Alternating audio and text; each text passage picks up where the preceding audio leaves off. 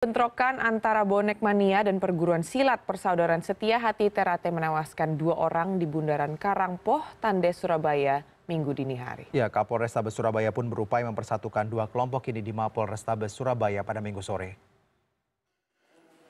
Dalam upaya mediasi tersebut, Kapolrestabes Surabaya Kombes Pol Muhammad Iqbal berharap bahwa kejadian ini tidak berkembang dan berakhir damai.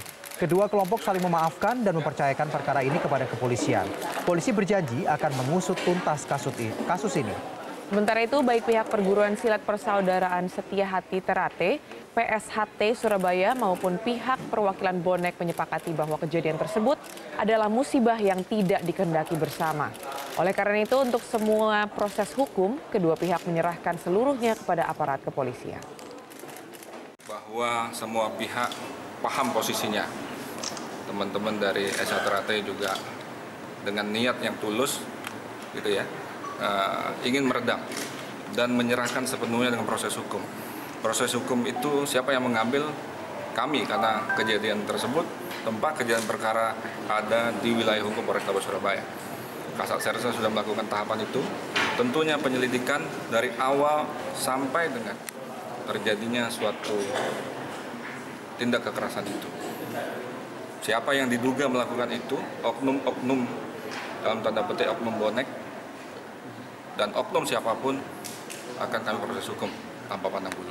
Kami bersama sepakat bahwa kejadian semalam itu tidak digendaki bersama. Itu yang harus digarisbawahi. Sehingga uh, ini adalah musibah dan kita prihatin.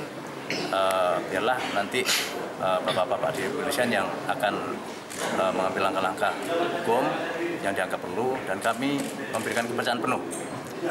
Dan selanjutnya kami akan meredam uh, pergerakan dari anggota kami dengan alasan apa pun dan itu apa pun bahwa kita harus uh, menghormati proses hukum yang ada di negara kita. Saya mewakili bonek semuanya, tidak hanya di Surabaya, di Indonesia, mengucapkan bela sungkawa atas uh, meninggalnya dua sahabat kami dari persaudaraan dari Terate.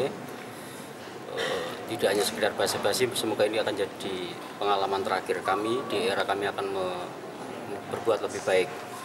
Untuk proses selanjutnya, saya tadi sudah sampaikan bahwa memang kami juga taat terhadap hukum gitu. Kalau nanti diproses, uh, kami mengikuti apa pun proses hukum dan saya siap jadi saksi. Sebelumnya ratusan supporter Persebaya Surabaya terlibat bentrok dengan kelompok pendekar silat di kawasan Bundaran Karangpoh Tandes, Surabaya minggu dini hari. Ya, dalam kejadian ini dua warga tewas.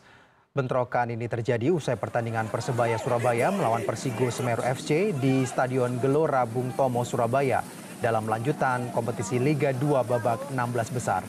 Sekitar 100 anggota perguruan silat tersebut sedang konvoi di Jalan Balong Sari Surabaya menuju Gresik.